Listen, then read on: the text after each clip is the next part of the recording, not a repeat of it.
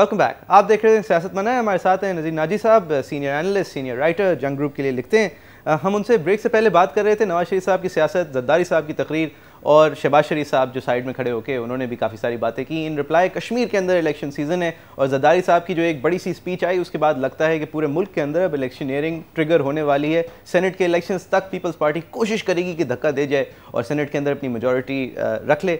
लेकिन P M की कोशिश बिल्कुल उल्टी होगी कि किसी ना किसी तरह हम इनके इतिहाद को तोड़ के इलेक्शन जो है वो सेनेट से पहले कॉल कर लें। नजीर नाजी साहब मैंने जो शहबाज शरीफ साहब की स्टेटमेंट का एक एक उस तरफ़ इशारा किया था। सर आप समझते हैं कि आज भी पीएमएलएन के वोट बैंक में से तालिबान पसंद या तालिबान के लिए नरम गोशा रखने वाले लोग आज भी उनको वोट देना चाहेंगे? आज भी उनको वोट देते हैं या आज भी उनकी कंस्टिट्यूंसी जहाँ तक वोट का ताल्लुक है मुस्लिम लीग नून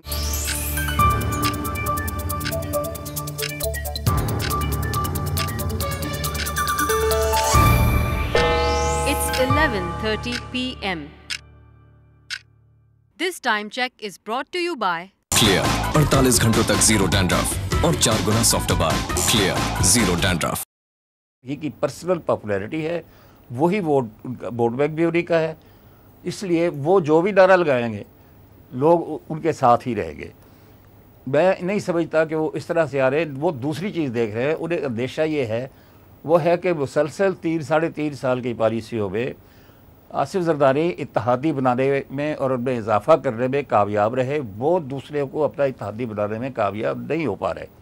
इस वक्त भी उनके साथ कोई ऐसी काबिल ज़िक्र जमात नहीं है, जिसकी असम्बलियों में कोई हैसियत हो या जो सियासी मामला में ताकत रखती हो या जिसके पास अब अपना कोई वोट बैंक हो बड़ी तादाद में, ऐसे लोग उनके साथ नहीं हैं, ऐसे जितने भी हैं वोट बैंक रखने वाले, वो आसिफ जरदारी के साथ चले गए। अब वो जो उनकी प्रॉब्लम बनी हुई ये है कि वो ऐसा वोट बैंक जो बुनियादी तौर पर पीपल्स पार्टी का मुखालिफ वोट बैंक है, या जो तालिबान के साथ या एक्सट्रीमिस्ट के साथ, हमदर्दी के साथ आगे बढ़ रहे हैं, वो उनको अपने साथ मिलाना चाहते हैं। या उनकी हमदर्दियाँ या उनका ताउन हासिल करना चाहते हैं, जिनमें जमात इस्लामी सर फहरिस्त है। वो बुनियादी तौर पर भुटो साहब की ज़ात और उनकी पार्टी की मुखालिफ है। लिहाजा इस मुखालफत में वो आगे जितना बढ़ रहे हैं उसमें कोशिश उनकी ये है कि वो जो भुटो मुखालिफ वोट है, वो उनकी तरफ़ आ जाए। क्योंकि मिसाक जहूरीत के नतीजे में उनका ख्याल ये था कि उनका जो vote, anti Bhutto vote bank है, वो कहीं स्लिप ना स्लिप ना हो रहा हो। अब वो उस बैंक को अपनी तरफ़ वापस लाना चाहते हैं। दूसरी उनको मुश्किल ये पड़ गई है कि इमरान खान जो उन्हीं जैसे नारे लेकर आगे बढ़ रहा है और उनसे ज़्यादा आगे बढ़कर वो तालिबान की हिमायत करता है और टेररिस्टों के तरफ़ झुकाव रखता है उनसे ज़्यादा एटी अमेरिका बातें करता है उन्हें एक और डर ये पैदा हो गया है कि वो कहीं उनके वोट बैंक में नकम ना लगा लें। उन्हें अब अपने वोट बैंक को संभालने के लिए भी जदोजहद करना पड़ रही है। उसके लिए वो तेज़ तेज नारे दे रहे हैं।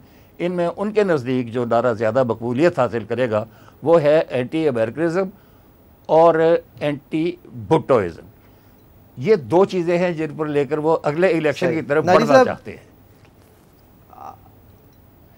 आप अब दिहाइयों से अब आप लिख रहे हैं एंटी इस्टेब्लिशमेंट और आप कहते हैं कि पाकिस्तान के लिए जो सबसे बड़ा प्रॉब्लम है वो उसकी अपनी इस्टेब्लिश्ड ऑर्डर है जिसके अंदर फ़ौजी भी शामिल हैं सरमाकार भी शामिल हैं सरमाकारी फ़ौजी भी शामिल हैं और सियासतदान भी शामिल हैं। सर आज कैसा लगता है? आपको संजीदा लगते हैं नवाज़ शरीफ साहब जब वो एंटी इस्टेब्लिशमेंट लाइन ये सारे मैं पहले अर्ज़ कर रहा हूँ ये इंतबी इदारे हैं। अभी आज़ाद कश्मीर का इलेक्शन है ये उस सिर्फ़ उनको मुतासर कर रहे हैं।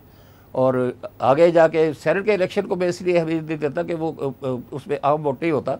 वो तो असम्बलियों के लोग हैं, वो तो पार्टियों के साथ लेन देन होता है, उसमें सारा असम्बलियों के अंदर ही इलेक्शन होता है, वहाँ में नहीं जाते।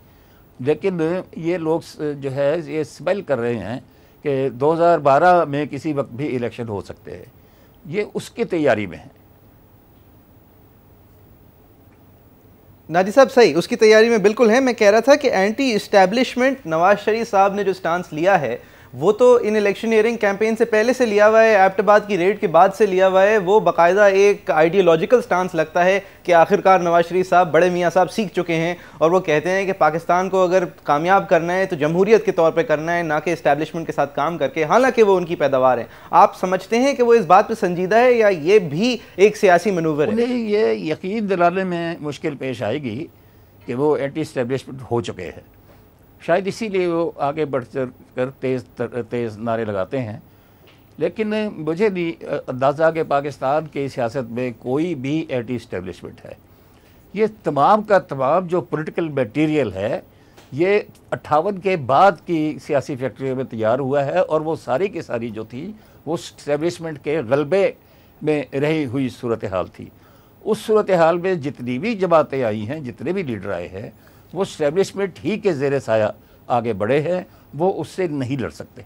आ, आपके ख्याल में इस्टेब्लिशमेंट के जेर साया आगे बढ़े हैं नवाज़ शरीफ साहब लड़ने की अगर कोशिश कर भी रहे हैं तो आप समझते गैर संजीदा हैं और ये फ़सलें सारा पॉलिटिकल मटेरियल तमाम जमातें तमाम लीडर तो ज़रा अगर पीपल्स पार्टी की तरफ़ आ जाएँ सर। पीपल्स पार्टी की तरफ़ गिलानी साहब मजलिस शुरा के मेंबर काबीना के अरकान काबीना के मेंबर जयाल हक साहब के आज prime minister PPP Babar Awan साहब इलाही साहब के करीब उनको आज law minister ex law minister PPP आज हुकूमत को डिफेंड कर रहे हैं जुल्फ़ार अली भुट्टो को रिप्रेजेंट कर रहे हैं। जरदारी साहब उस स्पीच के अंदर आर्मी का साइड लेते हुए नवाज़ शरीफ के ख़िलाफ़ खड़े हुए आर्मी को सियासी एक टूल इस्तेमाल किया कम अज़ कम स्टेटमेंट्स में। आप समझते हैं Peoples Party firmly anti establishment party नहीं बल्कि एक सेंट्रिस्ट पार्टी हो चुकी आपने बिल्कुल सही तजिया किया। पीपल्स पार्टी का जो मजाहमत का दौर था इस्टेब्लिशमेंट के ख़िलाफ़ वो भुट्टो साहब की शहादत और मुतरमा बेनज़ीर भुटो साहब की जलावतरी जो पहली थी उसके जयाल के ज़माने में, उसके दौरान वो जो ट्रांसफॉर्मेशन हो गई। उसके बाद मुतरमा अपने जलसों में एंटी अमेरिका नारे नहीं लगने देती थी, ये आपको याद होगा। उसके बाद जो तशरीफ़ लाई हैं वो पाकिस्तान में तो वो एंटी इस्टेब्लिशमेंट नहीं एंटी ज़िया थी। और उसके बाद फिर आपने देखा होगा, जब ज़िया के बाद एटी एट का इलेक्शन हुआ और मोहतरमा जीत कर आई। हालाँकि उनकी जीत को काफ़ी कमज़ोर कर दिया गया था इस्टेब्लिशमेंट की ताकत के ज़रिए। मगर वो आई तो उन्होंने फिर chief of army staff Aslam Beg से समझौता किया, उसके घर गई थी। वहाँ पर कोई अंडरस्टैंडिंग हुई थी और वहाँ पर उन्होंने जो भी शरात उन्हें दी गई थी, उनके तहत उन्होंने हुकूमत ली थी। तो वहाँ से एंटी इस्टेब्लिशमेंट रोल जो पीपल्स पार्टी का ख़त्म होने का अमल शुरू हो गया था। अब वो अमल अपने अंजाम को पहुँच चुका है।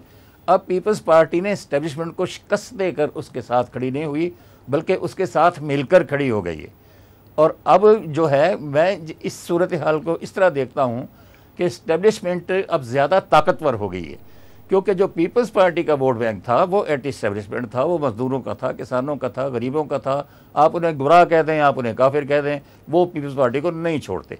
ये हैं वो लोग जिनकी तइद कभी इस्टेब्लिशमेंट को हासिल नहीं हुई थी। नजीर नाजी साहब, आप कहते हैं पीपल्स पार्टी का वोट बैंक जो था वो सदा ज़माने से जो एंटी स्टैब्लिशमेंट था, वो फिर एटीज़ की एंड में नाइन्टीज़ की शुरू में बेनज़ीर भुट्टो साहिबा ने इस्टेबलिशमेंट के साथ रिकनसाइल करके, क्योंकि उन्होंने समझ लिया था कि ये हकीकत पाकिस्तान में ये है कि सियासत अगर करनी है तो एक परसेंटेज रकम आपको चाहिए सियासत करने के लिए, जिसकी वजह से आप इलेक्शन एयरिंग करेंगे, और उसके अलावा आपको सपोर्ट चाहिए, हिमायत चाहिए, या कम अज़ कम एक कैंडिड नॉन अपोजिशन व्यू चाहिए ऑफ़ द इस्टेब्लिशमेंट और वो फिर जनरल असलम बेग से मिली थी, और उन्होंने फिर जब प्राइम मिनिस्टर बन भी गई थी तो भी वो अपने मेजर डिसीज़न और फॉरेन पॉलिसी डिसीज़न जो हैं, वो वेट करा के आईएसआई से अप्रूव करा के, या हमारे मिलिट्री इदारों से अप्रूव करा के ही लेती थी क्योंकि उन्हें पता था if you go on a tangent against our establishment you are not going to remain for too long आज की पीपल्स पार्टी पर सेंट्रिस्ट या सेंटर राइटिस्ट अगर आप समझ लें as as far as Pakistan can can accept it आपके ख्याल में नवाज़ शरीफ साहब को मौलवी ब्रांड करना इस वक्त जदारी साहब के मफाद में होगा या फिर नवाज़ शरीफ साहब के?